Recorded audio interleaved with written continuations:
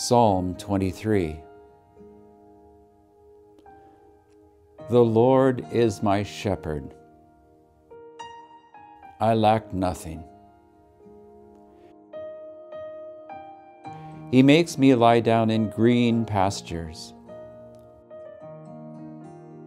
He leads me beside quiet waters. He refreshes my soul.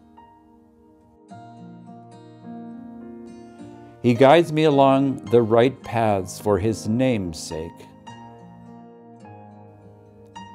Even though I walk through the darkest valley, I will fear no evil, for you are with me.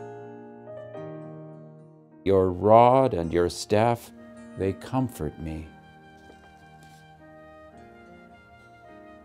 You prepare a table before me in the presence of my enemies. You anoint my head with oil, my cup overflows. Surely your goodness and love will follow me all the days of my life, and I will dwell in the house of the Lord forever.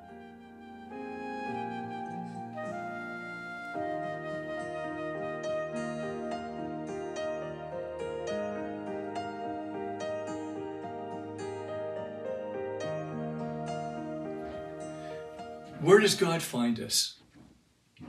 In the valley. Ezekiel prophesied in a valley with dead bones. And they became bodies again, human bodies. And God breathed into breath, and life became fresh and new for thousands. I don't like the valleys of life. But I know what happens in those valleys, as each one of you do. A valley feels like it's a place that we're out of breath and we're suffocating. But when we finally lay down, give in, surrender, God comes, I believe, and breathes into us new life, a new beginning when we think it's the end.